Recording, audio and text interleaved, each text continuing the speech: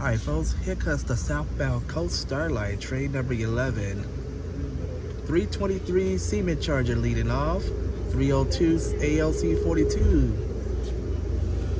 This is the southbound Coast Starlight going back to Los Angeles. He is just now arriving here on track number two.